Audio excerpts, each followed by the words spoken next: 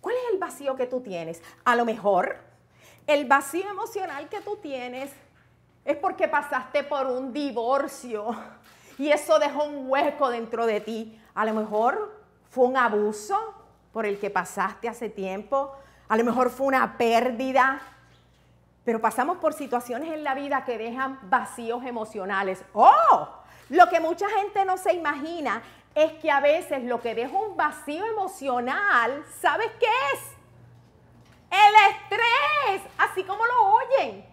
Cuando pasamos por estrés, que por ejemplo tú dices, ay, ¿cómo voy a pagar la renta? El dinero no me alcanza. O a lo mejor es el jefe que te tiene con tanto estrés que tú dices, me van a botar del trabajo, tengo que entregar un reporte. O a lo mejor es que tu hijo está enfermo entonces, ¿qué sucede? Que cuando tenemos todos estos problemas, tenemos vacíos emocionales. ¿Y sabes con qué lo llenamos? ¿Sabes con qué llenamos los vacíos emocionales? Te voy a decir con qué lo llenamos. Llenamos los vacíos emocionales con comida. Sí, con esto. Miren qué rico. Con esto es que lo llenamos. Y tú sabes cómo yo sé que nosotros llenamos los vacíos emocionales con comida. Porque cuando yo tenía nueve años, mi mamá murió de cáncer de mama. Y la soledad tan grande con la que yo quedé, la desolación, la tristeza, lo que hizo fue provocarme un hambre que yo me comía todo lo que encontraba. Entonces, para la edad que yo tenía, 11 años, yo me convertí en una niña obesa porque con esto fue que yo llené mi vacío emocional. En la vida, amigos, llenamos los vacíos emocionales con lo incorrecto, con comida. Así que pregúntate, voy a comer, pero sé que no me conviene. Yo dije que no iba a comer de más, pero pregúntate, a lo mejor sabes cuál es la emoción. Miedo, porque te voy a contar una cosa. Hay cinco emociones que provocan comer.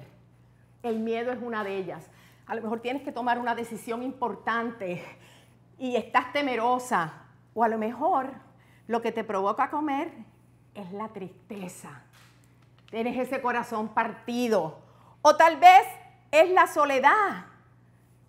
Te sientes solo, las relaciones no han funcionado contigo. ¿O qué tal si a lo mejor, mira esta, el coraje, ese bandido que te pegó los cuernos, ese es el que te provoca comer porque sientes un vacío. ¿O qué tal si es el estrés? Por aquí con la pizza, el estrés, exactamente. Son cinco emociones las que nos provocan comer fuera de control, las que nos dan esa ansiedad.